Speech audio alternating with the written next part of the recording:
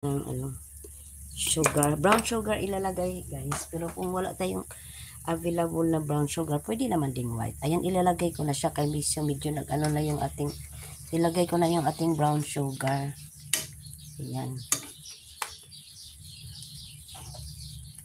Ito, haluin lang natin. Ayan na. May brown sugar. Tikman natin guys ha. Tingnan natin yung panimpla. Yung perfect ba talaga sa tulad ng sinasabi ko. But I'm sure perfect to. Kasi lagi ako nagluluto ng tawag nito adobo. Talagang perfect talaga ang timpla. Hindi siya maalat.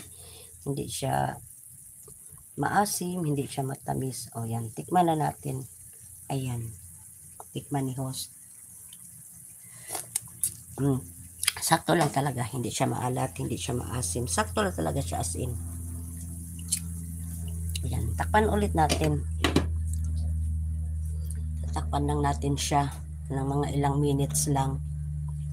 So, sandali lang naman tong live natin, guys.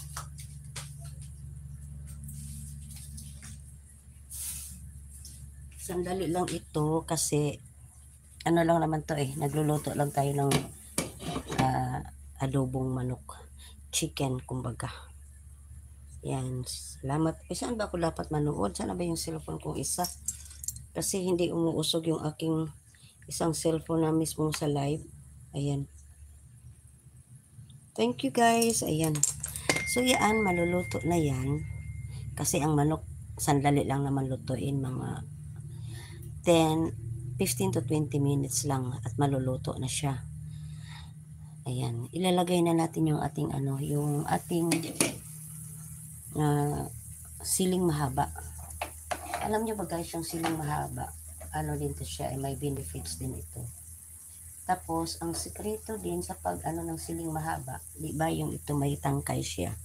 Hindi natin to tanggalin kasi diyan po nagkakaroon ng ano. Diyan po yung may ano siya nagdala din siya ng aroma. So ilalagay ko siya yan diyan. Lagay na natin. Ayan. Ayan. Kasi luto na to guys yung ating chicken.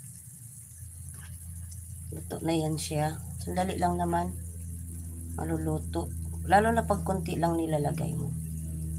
Ayan guys oh. Yan yung ating adobong chicken. Ayan. Thank you sa mga nandyan. Ayan. Nakasave na kayo guys kasi yung mga nandito, mga bisita ko, inaano ko yan. Piniplay ko yan isa-isa. Ayan. Habang nagluluto, ayan. So, takpan natin. Ay, malulo at luto na yan after. Anong nangyari? Bakit? Dito tayo sa isa. Ayan. Nalubat na yung isa kong cellphone guys. Yung naka-monitor sa ano. Nalubat na siya. Ayan. Haluin natin, be.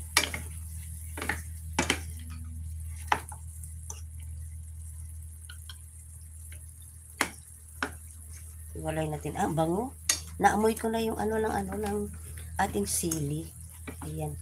Grabe yung bango. Pa yung timpla ng ating adobo. Napakabango na. Nag-ano na yung kanyang aroma. Nanan nanatawag pansin na siya. Ayan. Ayan. Ako ganito ako pag magluluto. Tikim ng tinggikim. Pero kung sa bagay, perfect na yung panimpla natin na tikman ko na kanina. Pero ako'y tikim pa rin ng tikim. Kaya pag kumakain na, kunti lang yung nakakain ko kasi nga kumbaga na ano na ako sa sarap. Ayan. Tikman natin ulit. Mm, perfect. Labi, sarap. Sakto sa alat, sakto, ta, sakto sa tamis, sakto sa asim. Hindi siya ano, perfect talaga. So ganun po ang ano ha, sekreto yung baguhan pa lang dyan Tingnan nyo mula umpisa kung paano ko tinimplahan yung alubong manok. Ayan. So, yan po yung ating